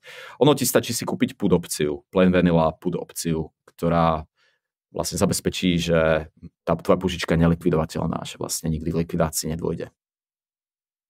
Uh, to však môže byť napríklad celku drahé, že plain vanilla put na nejaké dlhšie obdobie môže byť ako, že môže pridať 2-3 percentuálne body, keď som to naposledy počítal, k úrokovej miere. Čo zase není úplne až také strašné, ale není to uh-huh. málo. Uh-huh. Uh, dá sa použiť štruktúra, ktorá sa volá collar, to je, že kúpiš jeden put, predáš jeden call. Nevýhoda, e, výhoda je, že to môže byť zero cost, že ťa to nič nestojí, ale uh-huh. zaplatíš uh, za to tým, že sa vzdáš nejakého upsideu. Ja už možno používam príliš vlastne také ako finančné alebo tradingové uh, pojmy, tak ja to skúsim rozmeniť pre poslucháctvo uh, možno nádrobnejšie a uh, poviem, čo by to pre nich teoreticky znamenalo. Znamenalo by to to, že by sa nemuseli a báť likvidácie. Likvidácia by nikdy nenastala a dokonca v prípade, že by Bitcoin poklesol pod nejakú úroveň, tak by naspäť získali viac Bitcoinov, jak do escrow dali. A stalo by to to, že by uh, sa vzdali ziskov, uh, ktoré im prinesie rast ceny Bitcoinu od nejakej hodnoty. Napríklad. Ak Bitcoin pôjde na 100 tisíc, tak už nedostaneš naspäť celý svoj bitcoin, ktorý si do toho kontraktu dal, ale jeho časť v hodnote 100 tisíc. Takže ak si s hodnotou 100 tisíc OK, si povieš, tyjo, ja som už aj tak bohatý človek, aj tak by som to tam predal, tak je to pre teba ideálne riešenie. Uh-huh. No a toto že... vlastne chcete ponúkať priamo ako súčasť toho produktu v roadmape Firefishu. Ak som Celé by sme to launchnúť budúci rok, niekedy koncom budúceho roka. Uh, poviete, aké výzvy sú s tým spojené. Uh, ono nie je problém toto nadizajnovať, lebo to je iba finančný engineering, to je celku ako keby jednoduchá vec. dajú sa spraviť rôzne modifikácie, napríklad, že by, si, že by to bolo lacné, ale mal by si tú protection likvidačnú na nejaký obmedzený čas, povedzme na dva týždne. Čo tiež môže byť akože hodne useful pre ľudí, ktorí cestujú alebo nechcú uh-huh. stále sledovať, že či náhodou Bitcoin nepadá. Uh-huh. Uh, výzva je, jak toto spraviť nejakým čo najviac trustless spôsobom. Uh, aby si ty nemusel poskytovať, uh, poskytovateľovi tohto, nazve to poistenia, uh, dôverovať, že svoj záväzok splní. Uh-huh. A to je teraz aktuálne najväčšia výzva, ktorú vlastne riešime, jak to spraviť čo najviac trustless, lebo uh-huh. takou našou takou uh, najzásadnejšou dogmou je postaviť ten kontrakt tak, aby bol čo najviac trustless, aby čo najviac odbúraval riziko protistrany medzi tými jednotlivými aktérmi, aby nemuseli nikomu dôverovať a aby nemali expozíciu na niekoho. To znamená, že v prípade jeho defaultu sa nič nestane. Jasné. Myslím si, že inak uh, counterparty risk alebo riziko protistrany je užitočný koncept, s ktorým moc nenarábajú ľudia mimo financií a myslím si, že celkovo v živote hrozne užitočný rozmýšľať, že nejaký vzťah, nejaký kontrakt, uh, jaké by mal dôsledky v prípade, že by tá protistrana nesplnila to, čo nám slúbila. Napríklad záložňa nám nevráti mikrovlnku, tvoj, uh, firma tvojho známeho nám nevráti moje zlato, alebo FTX mi na požiadanie nevyplatí môj bitcoin. To je mm. úplne rovnaký koncept, ktorý možno e, keď ľudia príjmu za svoj a začnú takýmto spôsobom rozmýšľať o svojich transakciách a vzťahoch e, vo svete, tak im to môže byť v niečom osožné. Je to napríklad v Paraguaji som zažil chlapcov, bitcoinerov, ktorí, e, ktorí akože mali sushi reštauráciu a chceli dohodli sme sa, že im zaplatíme v a oni otvorili Binance appku. A ja hovorím, že ale toto nie je Bitcoin, to je, to je Binance, hej, to je, to je niečo iné, že to ako... A, a to je presne to, hej, že oni vlastne si myslia, že vlastne Bitcoin a pritom sú vlastne vystavení brutálnemu counterparty riziku, hej, a to nemusí byť ani, že, že proste Binance sú podvodníci alebo niečo, stačí, že sa nejaký úradník rozhodne, že tak ako pri e-golde, že, že toto je strašne nebezpečné a perú sa cez to peniaze, čo zrovna pri Binance sa teda uh, úradníci celkom tlačia na, na toto a môžu, môžu ti to jedného dňa proste zavrieť a, a ak sa vôbec dostaneš k svojim bitcoinom, tak to bude trvať niekoľko rokov. Mimochodom, po krachu MTGOXu ešte stále nevyplatili ľuďom ich peniaze. To je, ani neviem, koľko je to rokov, ale to, to sú roky. Hej. Um, ja som sa zúčastnil mimochodom eh, toho likvidačného procesu, lebo som si to chcel mm-hmm. zažiť, ako to funguje. Mal som tam 100 dolárov, ani nie bitcoinov, ale, ale akože dolárovú hodnotu. Takže a, a, a chcem vedieť, že kedy mi reálne z toho Japonska pristane tých 100 dolárov na účte. Takže, takže to counterparty, uh, counterparty riziko je obrovské a, a to je teda rozdiel možno aj to etf a, a mať akože bitcoiny na burze a podobne versus e, to vlastníctvo. Takže to sa mi páči na tom Firefish protokole. Ja som, um, ja som pri ňom aj spolupracoval, čo v zásade znamenalo, že uh, vaši uh, geniálni kryptografii vymysleli dobrý protokol a ja som povedal, že je super. takže, uh, takže sa mi to, sa mi to páči. A um, ešte by som sa vrátil, teda hovoril som, že dve veci sa ľuďom nepáčia na, na pôžičkách. Jedna je tá volatilita, že majú stres z toho, že budú zlikvidovaní. A druhá vec, ktorá sa im e, nepáči často, e, ako poznáme to z hypoték, je taký ten pocit, že nechcem nikomu byť nič dlžný. A e, veľa ľudí proste spláca hypotéky nie preto, že by to pre nich dávalo finančný zmysel, že, že eh, ja neviem, eh, keď eh, máš hypotéku zafixovanú na dvojpercentný úrok na 5 rokov a už len na terminovanom vklade dostaneš 4%, tak sa ti vlastne neoplatí splatiť tú hypotéku, ale ľudia to aj napriek tomu robia, lebo proste ten pocit, že nie som banke nič dlžný, že už je to naozaj moje. A často je to teda aj pri bitcoine, hej, že bitcoinery sú takí, že, že ja radšej predám ten bitcoin na to, aby som financoval spotrebu, pretože by som niekomu bol niečo dlžný a to je proste nepríjemný pocit.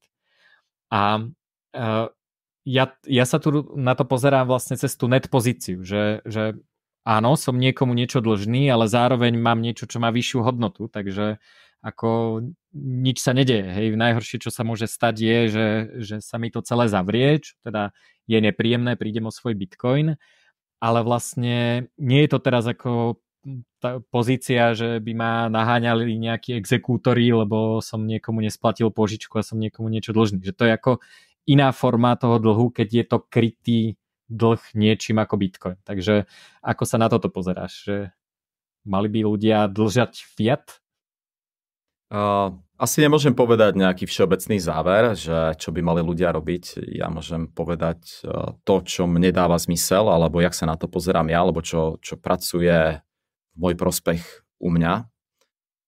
A ja sa možno trošička aj na tie osobné financie pozerám ako, ako keby som bol firma, ako na firemné financie, že mám nejaké aktíva a nejaké pasíva.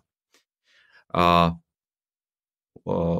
väčšinou ľudia používajú iba jeden druh pasív a to, to je nejaká vlastná ekvita, to je výsledok tvojej práce napríklad, že vlastne aktíva sú to, čo vlastníš a pasíva sú zdroje, ktorými si to financoval. A väčšina ľudí financovala všetky svoje aktíva a, svojou prácou a, a vlastne odmietajú použiť iný droj, zdroj pasív. Keby takto e, fungovala nejaká firma, tak e, myslím si, že v konkurenčnom prostredí neprežije do zajtra, lebo by ju zožrala iná firma, ktorá má lacnejšie pasíva, lacnejšie sa vie financovať. Takže e, ja sa na to pozerám tak, že moja ekvita je drahšia ako 5, 6, 7, 8%, za ktorú si viem peniaze požičať. Takže ja používam aj extre, externé zdroje financovania, napríklad hypotéku alebo Bitcoin back loan na krytie svojich aktív, ktoré sú moje vzdelanie, Bitcoin a nejaké iné aktíva, ktoré považujem e, za vhodné mať. Čo sa týka, ako nebyť zadlžený je možno ako rozumná heuristika. A ako každá heuristika neplatí vo všetkých prípadoch. Keby takto rozmýšľal napríklad Mark Zuckerberg a predával by akcie Facebooku na to, aby si kúpil vilu, tak si myslím, že nikdy nevybuduje hodnotu, ktorú vybudoval. Myslím si, že dobré je vlastne dobré aktíva a byť krátky zlé aktíva. A najlepšie aktívum, ktoré poznám ja osobne, je Bitcoin najhoršie aktívum, ktoré poznám, sú štátne peniaze. Takže pre mňa je tá, tá kalkulácia relatívne jasná. Možno k tomu Zuckerbergovi.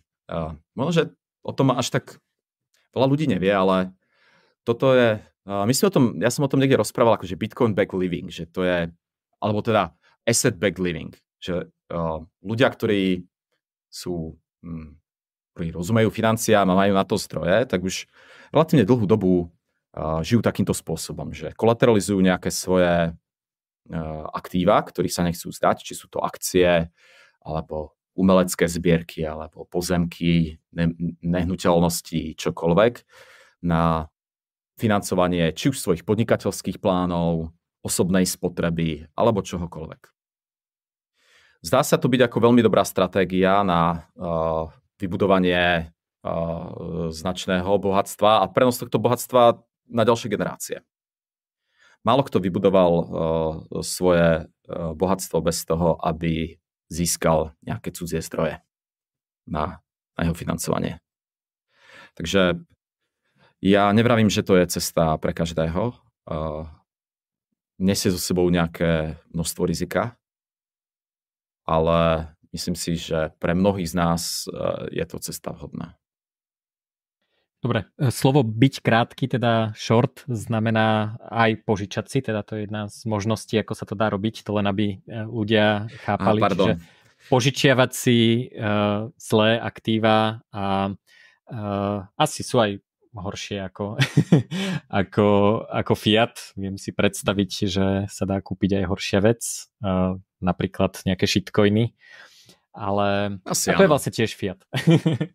um, čo je napríklad e, výhoda Firefishu je, že e, ja osobne vnímam napríklad euro a českú korunu ako horší fiat ako dolár. Podľa mňa medzi fiatom, medzi jednotlivými štátnymi peniazmi je dolár asi najlepší a je to jedna z mála platformiem, e, ktorá ti umožňuje byť short alebo požičať si eura a české koruny. Čiže to, že e, ja som, ja radšej shortujem euro ako dolár, lebo ten dolár je predsa len trochu lepší ešte. Takže e, toto, toto je ako podľa mňa dobrá, dobrá výhoda Firefishu, že, že toto umožňuje. A e, k tomu um, páči sa mi to, ako si to povedal ako firma, že aktíva pasíva a vlastne za pasívum prácu si trestaný daňami z príjmu. Takže čo, čo je veľmi zaujímavé, hej, že ja keď uh, financujem niečo pomocou úveru, tak nikde vlastne neplatím daň, dokonca si často môžem dať úroky do nákladov, ak som firma. A ak to financujem tým, že chodím do práce a prichádza mi výplata, tak z toho mi štát vezme 50%. Hej? Čiže keď sa, keď sa na to pozriem vlastne z toho pohľadu, že uh, za, uh, za získavanie peňazí pomocou môjho času ma štát potrestá, ja neviem, 40-50% z, uh, z mojej produktivity z toho času, čiže 4 hodiny denne pracujem pre štát a 4 hodiny denne pracujem pre seba. Versus že si požičiam a ešte, ešte vlastne ako mi to poníži moje, uh, moje daňové uh, povinnosti o tie, o tie úroky, uh, tak uh, vlastne pre mňa je toto dobrý spôsob, ako si kúpiť svoj vlastný čas. Hej, alebo teda nemusí, nemusím ho minúť. Hej, že, že ja sa môžem viac venovať rodine, môžem sa viac venovať natáčaniu podcastov zadarmo so zaujímavými ľuďmi, môžem proste robiť úplne iné veci, ako ľudia, ktorí nevyužívajú tento spôsob financovania svojho života. A tým sa dostávam teda k ďalšej otázke, že dobre, a jasné, mám požičku, financujem tak možno svoj život, možno nejaké, nejaké svoje aktíva, ktoré si kupujem a e, kedy tú požičku splatím. Že, e, že toto vlastne vyzerá ako odloženie problému do budúcnosti. Že ako sa pozeráš na to splácanie tej, tej požičky?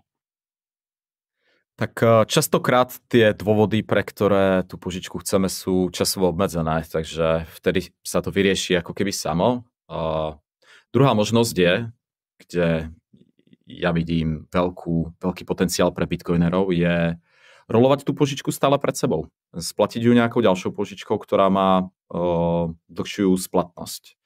Takže princípe odpoveď na tvoju otázku ono nechcem, aby to vyznelo, že predávame hrce Scepter, alebo ja neviem, proste, že robíme takýto druh biznisu, lebo to môže znieť až úplne ezotericky.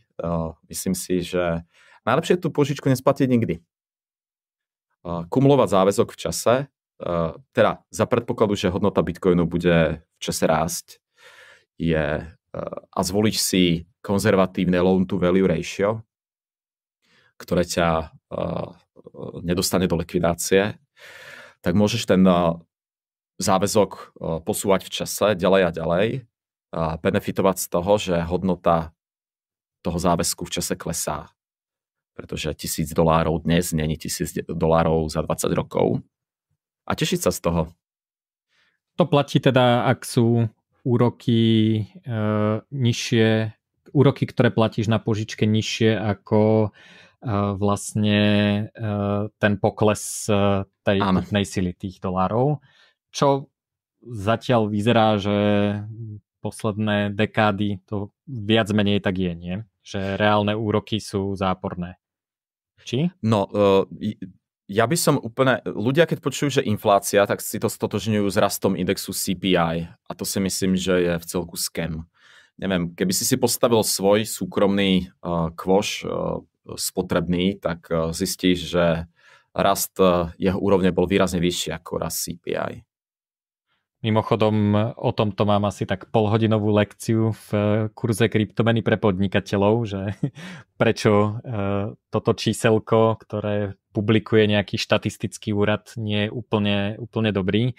A vidíme to, že stačí sa pozrieť na to, ako klesajú ceny notebookov a mobilov, že iPhone 15 o 5 rokov určite kúpim za smiešne peniaze, čiže hodnota konkrétnej technológie v čase klesá, vďaka rast, e, technologickému rozvoju a rastu produktivity, ale možno cena nehnuteľnosti bude výrazne vyššia. Čiže ono to nikdy nie je jedno číselko, ktoré niekto vypublikuje, ale závisí od toho, že čo si kupujeme. Ale v zásade teda sa na to musíme pozerať tak, hej, že ako keby ten úver na tej požičke bol teraz 25%, tak by to asi, asi nebol až taký dobrý deal.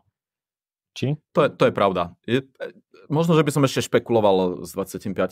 Ja si myslím, že reálna inflácia je výrazne vyššia, jak eh, si myslíme. Eh, pretože ona nás ešte okradá aj o technologický pokrok. Normálny stav veci je, že veci sú v čase v dôsledku technologického pokroku lacnejšie a lacnejšie. To je náš benchmark, ktorý by bol bez zásahov centrálneho bankovníctva. To není, že cenová hladina sa nemení. Uh-huh. Náš benchmark by mal byť cenová hladina klesá to je normálny stav vecí. Proste dokážeme vyrábať efektívnejšie MacBooky a ja sme všetko. Energiu, všetko dokážeme vyrábať časom efektívnejšie a to je normálny stav vecí. My nielenže akceptujeme, že sa toto nedeje, že nás o ten technology surplus uh, okradajú centrálne banky, ale ešte nám zoberú ešte niečo navyše. A to je, že cenová cena úroveň klesá, či uh, uh, uh, rastie aj s vyjadrením vlastne po vyjadrení CPI. Tak, tak. Ešte ma zaujíma, že teraz e, taká podobná otázka, že toto je vlastne ako náhrada možno, alebo alternatívna stratégia, e, e, iná alternatíva voči predaju Bitcoinu. Hej, že nepredám Bitcoin, ale použijem ho ako zábezpeku na požičku. Hej, to je jedna strana mince. Druhá strana mince je kúpa Bitcoinu a tam mám na teba teda samozrejme mnohých ľudí napadne, že však ja si ďalšie bitcoiny môžem kúpiť práve z tej pôžičky, že ja môžem si vlastne urobiť takúto jemnú páku, hej, že nemám teraz ďalšie peniaze na to, aby som si kúpil ďalší bitcoin, ale myslím si, že teraz je dobrá chvíľa prikúpiť, tak ja môžem spraviť to, že tie bitcoiny, ktoré už mám, použijem ako zábezpeku, príde mi na účet 1000 eur a kúpim si ďalšie bitcoiny. Čiže uh, uh, ty, ako si hovoril, že financovať aktíva, tak to aktívum, ktoré môžem financovať z takto zabezpečenej pôžičky je aj ďalší bitcoin. Ale uh, to len teda asi veľa ľudí napadne a myslím si, že je to legitímny spôsob použitia. Ale čo by si povedal vlastne na prikupovanie? Ja som počul také dva názory. Väčšina bitcoinerov rozpráva o nejakom dollar cost averagingu a ako postupnom prikupovaní, aby sme teda nevychytili nejaký vrchol a, a ako a aby sme, aby sme teda si spriemerovali tú nákupnú cenu. Uh, ja keď sa na to pozerám, tak to tak trošku zaváňa, že príliš dlho držím fiat, čo je to zlé aktívum a mne zase nedáva ne, nepríde mi až taký zlý prístup si proste uh, sa toho fiatu zbaviť čo najskôr a kúpiť si bitcoin naraz, hej, že, že proste all in. Samozrejme toto keď niekom poviem, tak som totálny gambler a toto a, a kľudne, keď to poviem aj, aj, aj bitcoinerom, hej, že, že dollar cost averaging je vlastne nejaká svetá vec. Samozrejme, zase ako u všetkého neexistuje univerzálna odpoveď pre každého, ale ako sa ty na toto pozeráš? No myslím si, že do, na, na DCA mm, myslím si, že DCA je super pro ľudí, ktorí majú napríklad pravidelný príjem, že vlastne si vedia z výplaty odložiť nejakú sumu, za ktorú proste bez rozmýšľania nakúpia, nakúpia Bitcoin. Podľa mňa najväčšia sila toho prístupu je, že ti uvoľní hrozne veľa času. To je možno aj vec, o ktorej sme sa ohľadom tradingu nebavili. Že jedna vec je riziko spojené s tým, že s veľkou predpovedosťou ti to nevíde, ale čo, čo určite stratíš, je čas, ktorý si tomu venoval. Takže všetky tie hodiny, čo stráviš meditovaním nad, nad všetkými kendlami, tak vlastne si mohol venovať niečomu produktívnejšiemu. Uh, rovnako ti kopec času ušetrí DCA alebo pozornosti. Uh, ako náhle sa snažíš targetovať, kde, tu, kde ten Bitcoin kúpiš, za akú cenu, že či je to už drah, dosť drahé a či to náhodou uh, ten chart nezaplní uh, nejakú sviečku alebo nejaký gap z minulosti, tak v tom momente už uh, musíš sledovať všetky news, sedíš pri tom, medituješ a neveduješ sa produktívnym veciam. Takže podľa mňa DCA je super nástroj, hlavne pre ľudí, ktorí majú nejaký pravidelný príjem. Pre, pre ľudí, ktorí povedzme dnes objavili Bitcoin a povedia si Ježiš, tak ja tu mám voľné peniaze, myslím si, že ten tvoj prístup bude asi, asi vhodnejší. Myslím si, že v priemere tým DCA si troška zmeníš variabilitu toho výsledku, ale v priemere nič nezískaš a nestratíš. No. Takže... Ano, o, tak e, ešte aby som doplnil, nie je to môj prístup, ja e, teda som to tak neurobil, takže mm. len, len teda filozofujem nad tým, že či to nie je lepšie, takže, uh, takže ak chcem byť úprimný a teda hovoriť ľuďom, čo robím ja, tak nerobil som, neurobil som to tak, že by som si na šupu za všetok fiat kúpil Bitcoin, lebo moja dôvera voči Bitcoinu stúpala v čase a teda na začiatku to vôbec nebola taká, ináč by som nikomu neposlal mojich 100 Bitcoinov, ktoré som kedysi mal. Mm. a, dobre, ešte uh, mám takú uh, takú uh, v zásade poslednú otázku ohľadom na uh, ohľadom Firefishu.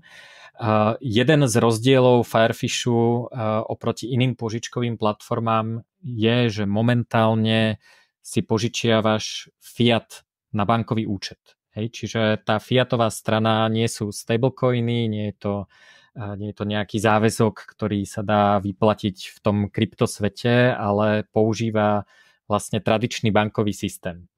Má to nejaké výhody, nejaké nevýhody. A ja teda viem o nejakých výhodách, možno povedz, čo ty si o to myslíš, možno doplním, ako to vnímam ja potom. No jak vravíš, má to svoje výhody a má to svoje nevýhody. Ja si myslím, že so spojením, uh, alebo teda použitie súčasnej verzie stablecoinov je spojené s relatívne veľkými rizikami, ako rôzne. Proste treba si uvedomiť, že na druhej strane je znova nejaká inštitúcia, ktorá kolateralizuje fiat aktíva na svojom balančíte, voči tomu vydáva ich nejakú digitálnu reprezentáciu. A to... niekedy aj kryptoaktíva kolateralizuje? Áno, napríklad aj. Napríklad aj. No dobre, ale na to je odpoveď, že ty si short, takže uh, bodaj by to krachlo, lebo ty si si to požičal, takže to budeš musieť vrátiť, keď uh, ak, ak sa teda ten stablecoin nejakým spôsobom pokazí, tak uh, tak vlastne to je dobre, nie? Pre teba, ako keď si si to požičal. Jo, ak, ak si borover, tak určite. My, z hľadiska borovera by som videl proste tú nevýhodu, že vo väčšine prípadov ľudia aj tak potrebujú to na nejaký real world use case, takže pôjdu cez nejakú znova zmenáreň, kde budú znova musieť spraviť nejakú operáciu. Uh, ale väčší problém vidím v tom, že ako náhle sa používajú stablecoiny, tak ten trh je neprístupný pre lacný kapitál z tradičných financií. Uh, pre Goldman Sachs bude do veľkej miery nemožné poskytnúť niekomu požičku v stablecoinoch z dobrých dôvodov. Pretože tie riziká sú ťažko uchopiteľné, ťažko kvantifikovateľné a bude, bude to pre tradičný kapitál hrozne, hrozne náročné. My o čo sa snažíme, aby sme práve spravili uh, kontrakt, ktorý bude vhodný aj pre ľudí z tradičných financií. Nebudú sa musieť dotýkať stablecoinu a investori, teda tá, tá druhá strana, my sa, my sa väčšinou bavili uh, o tej strane, ktorá si požičiava uh, hotovosť, teraz vrem o tej druhej strane, ktorá investuje uh, fiat hotovosť, uh, tak my sa snažíme spraviť vec, ktorá Uh, umožní aj ľuďom zo stračných financií uh, interagovať. Tvoja maminka, keď, alebo tak tvoja maminka robí krypto, to, alebo teda Bitcoin, to viem, ale napríklad moja, v prípade, že bude mať voľných pár tisíc uh, eur, tak môže bezpečne použiť Firefish a nemusí obsluhovať žiadnu bitcoinovú peňaženku a obslúži, získa rozumný výnos s malým rizikom, lebo ten vzťah je krytý bitcoinom a môže použiť svoju svoju banku. Nevýhoda je samozrejme fiat systém, to je proste peklo, ako robiť čokoľvek s bankovými peniazmi je neskutočné peklo. Neviem, či by sme to robili ešte raz, kebyže sa máme teraz rozhodnúť, možno, že by sme to celé spravili inak, ale tá práca už je do veľkej miery spravená, takže tak ono, je to aj niečo, v čom sa Firefish odlišuje od tých iných platformiem, že platformy, ktoré požičiavajú stablecoiny, tých je už celkom dosť, aj keď teda Firefish má aj no. iné pozitívne vlastnosti, ale teda chcel som, e, to je dobré povedať, že, e, že vlastne pre ľudí, ktorí majú fiat a chcú zhodnotenie, je Firefish e, aj bez toho, že by museli nejakým spôsobom poznať ten kryptosvet, dobrý spôsob na zhodnotenie ich fiatu asi s lepším úrokom ako dá banka. Ja som mimochodom skúšal dve strany, takže uh, svoju požičku som splatil a ešte požičiavam nejaký fiat, uh, takže čakám, čakám na splatenie neskôr. Ale podľa mňa tam je zaujímavé aj to, že ono nie je také úplne ľahké prijať väčší obnos peňazí, hlavne z bitcoinovej zmenárne. Hej, že dobre, keď si chcem kúpiť e, dovolenku v Tajsku a chcem si požičať, e, neviem, 3000 eur, e, tak to kľudne môžem spraviť cez menáreň alebo kľudne aj cez Vexláka, ktorý mi to dá v keši, že predám tie stablecoiny a dostanem cash. Ak si chcem kúpiť dom v Heinburgu alebo v Paname, tak prijať, neviem koľko stoja domy, dajme tomu pol milióna dolárov, na bankový účet zo zmenárne už nie je vôbec také ľahké, pretože banka bude určite, alebo skoro určite bude chcieť vidieť nejaký pôvod peňazí a hlavne keď tam svieti bitcoinová zmenáreň, tak, tak to je teda veľký, veľké červené, veľký červený výkričník im tam asi začne svietiť. A v prípade Firefishu mi tie peniaze prídu od niekoho, kto mi požičal, ten niekto nemá nič s Bitcoinom, naozaj to môže byť tvoja maminka, ktorá chce len zhodnotiť svoj fiat, takže nie je tam až taký veľký červený výkričník, lebo to nemá s Bitcoinom nič, to sú reálne niekoho iného úspory, ktoré prídu mne.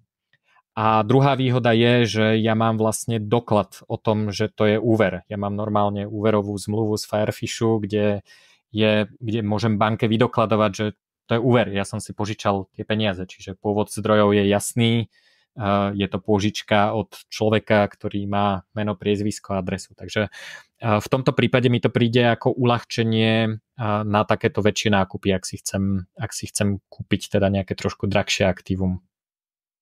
Tak zjavne to funguje, nie všetky transakcie teda u nás boli uh, veľké, niektoré boli menšie, uh, ale zatiaľ sme nezaznamenali nejaký výraznejší problém v settlemente, teda uh, v prevodoch medzi jednotlivými userami.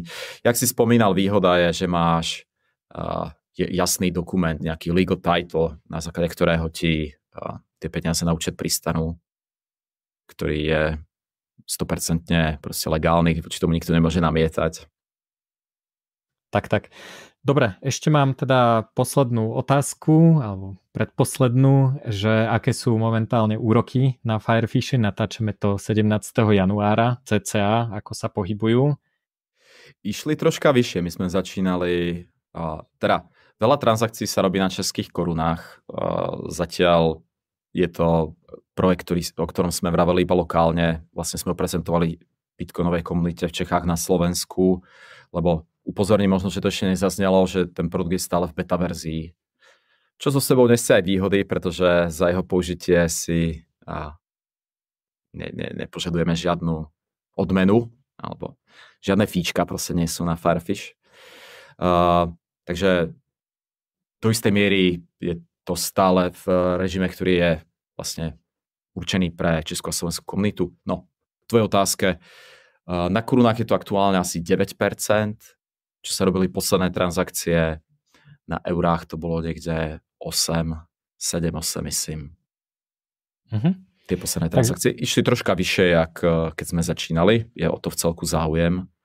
Takže, takže ak eh, niekto počúva, ktorý má voľný fiat, ak sme ho teda neodradili dosť tým na, na, našou bitcoinovou omšou o tom, jak fiat není dobré držať, tak uh, ak sme niekoho neodradili uh, tak a stále chce držať fiat, tak e, budeme radi.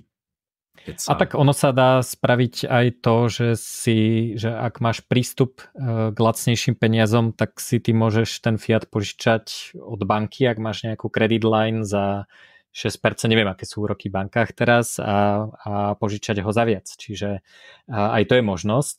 Takže mm-hmm. to je taký, taký e, pekný nejaký úrokový spred. A posledná otázka je, že kde môžu ľudia sledovať Firefish a teba, kde ste aktívni. Ja vás sledujem na Twitteri, alebo teda na X.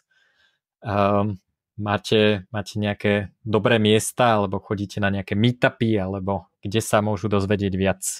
Linky budú pod videom samozrejme, ale... Tak jo, samozrejme Twitter, alebo teda X, tam sme, tak ty posneš linky, tak nebudem asi vraveť pod akým tam je menom. Cez našu stránku sa preklikať na Discord, kde zodpovieme akúkoľvek otázku, ideálne na tému Firefish, ale alebo Bitcoin, ale...